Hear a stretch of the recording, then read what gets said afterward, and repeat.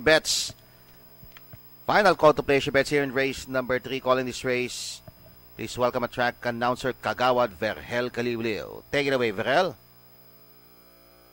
And Kay Lupia, thank you and good afternoon. The only one, Mr. Bong Rubio and Wonder Boy, Rap Rap, Sordan Alcantara. And all of you racing fans, good afternoon.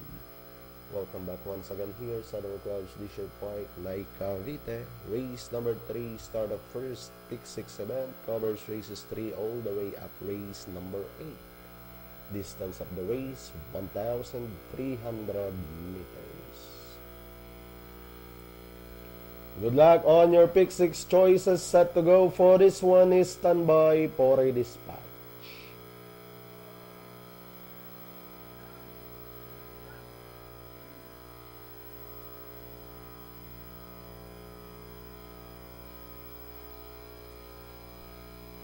Anytime now. It's racing time. Always on time. Pilya moving up at the center. Then running by the rail.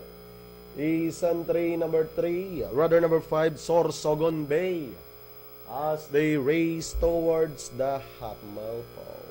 Sorsogon Bay takes up the running hardliner moving upon the outside, about to throw the challenge, and now catching the lead. Now they are all after hardliner from the outside. Sorsogon Bay is bilateral. Always on time racing in third and followed by Palma de Mallorca as they round towards the 450.